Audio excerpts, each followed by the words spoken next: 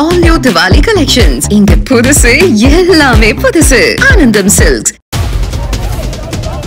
கேரளாவில் கோழிக்கோடு அருகே அதிவேகமாக சென்று கொண்டிருந்த அரசு பேருந்து கட்டுப்பாட்டை இழந்து ஆற்றில் கவிழ்ந்த விபத்தில் பெண் ஒருவர் உயிரிழந்த நிலையில் சுமார் இருபது பேர் காயமடைந்தனர். ஆற்றில் கவிழ்ந்த பேருந்தை பொக்லைன் மூலம் மக்கள் உதவியோடு தீயணைப்புத் துறையினர் மீட்டனர்.